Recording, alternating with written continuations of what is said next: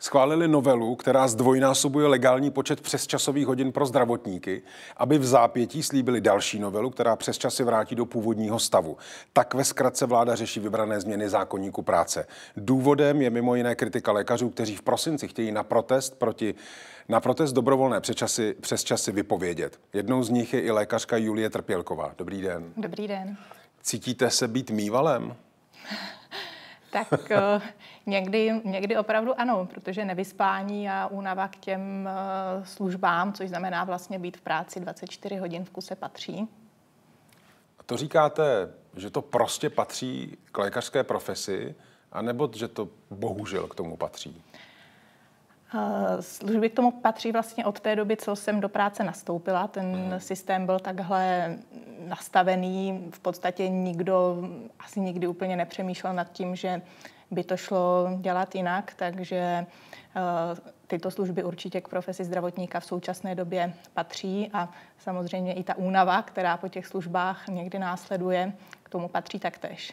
To bych vysvětlil, to jsou mm-hmm. potom ty kruhy kolem očí, ano, ano. jako ten odkaz na to, ano, na to zvíře. Ano, ten mýval je vlastně to aktivní zvířa, zvířátko, co pořád pracuje. pracuje.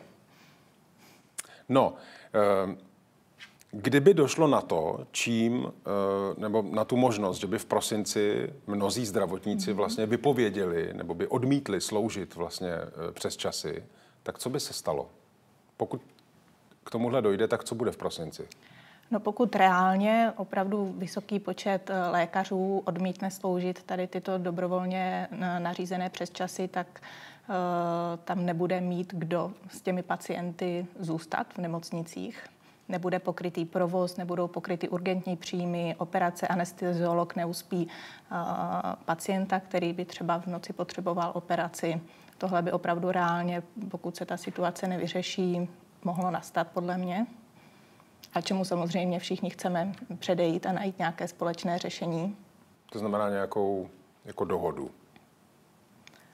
Umím si to představit, že by to mohla být nějaká jako dohoda a hlavně plán, jak eh, udržet to zdravotnictví tak, aby fungovalo, aby v něm chtěli lékaři a teďka zejména teda lékařky, protože tvoří momentálně skoro 70% lékařského personálu ženy, že tam budou chtít zůstávat, protože nás ta práce baví, my se o pacienty staráme rádi, ale chceme zaručit to, že ta péče o ty pacienty bude kvalitní, že se o ně nebude starat unavený a přepracovaný lékař.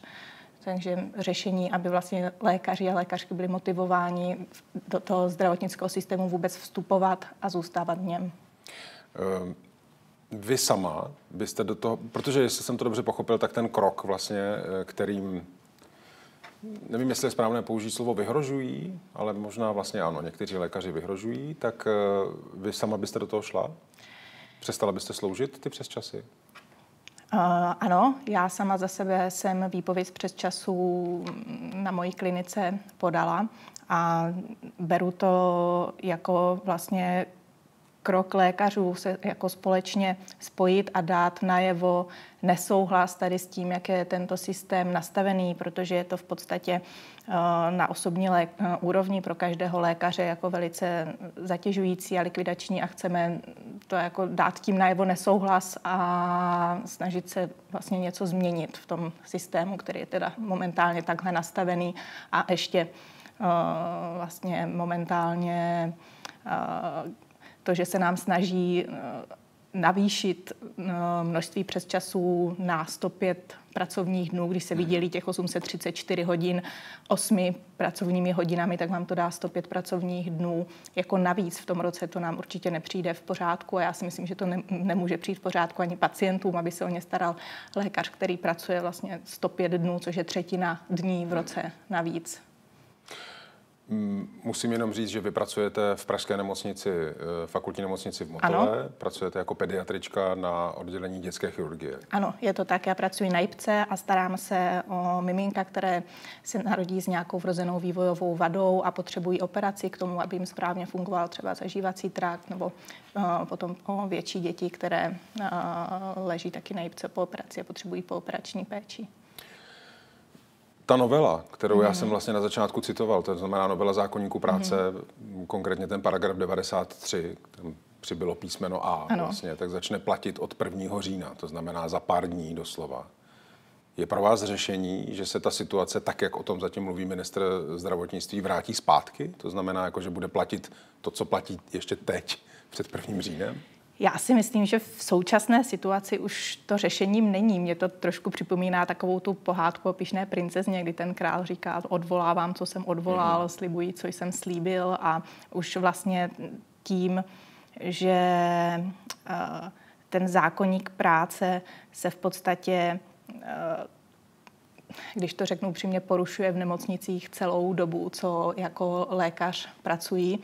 A... Pardon, za vlastně jako souhlasu, nebo alespoň tichého souhlasu obou stran, jak toho zaměstnavatele, tak zaměstnanců.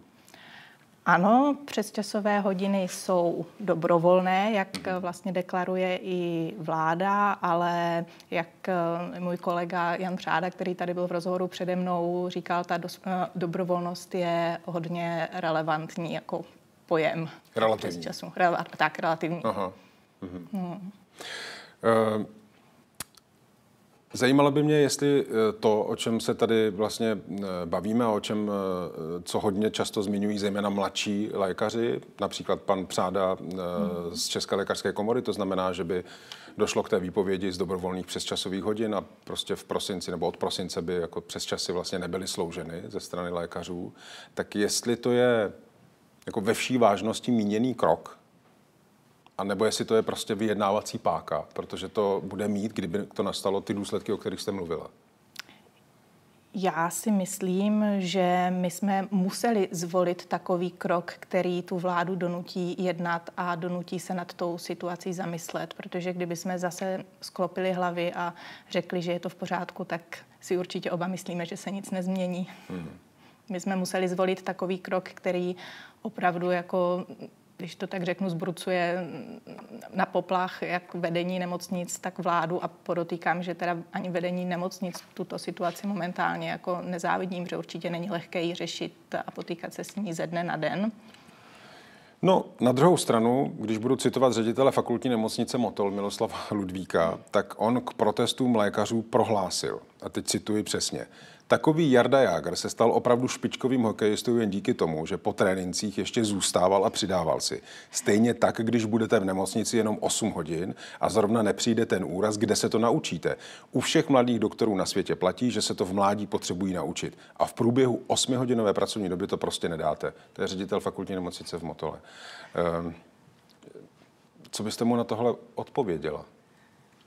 No, jestli si pan ředitel představuje práci lékařů a služby jako hokejové hřiště, tak bych ho možná poslala si k nám na tu jípku na chvilku sednout a zkusit tam pracovat a tu 24-hodinovou službu tam vzít, protože si myslím, že Jaromír Jágr má určitě jiné finanční ohodnocení a samozřejmě po těch trénincích náležitě regeneruje. Hmm má, má určitě nějaké masáže, prostor pro regeneraci, když to my po 24-hodinové službě se tak jako doma vyspíme a vlastně druhý den se čeká, že do té práce přijdeme úplně čerství znovu, vlastně připravení řešit ty krizové situace, které já, mohou nastat. Rozumím, já jsem mám ředitele motorské nemocnice citoval proto, eh, že bych chtěl vědět, jako jak velké zastání máte třeba vy uvedení své nemocnice. Protože z tohohle to nevypadá, že byste ho měli velké.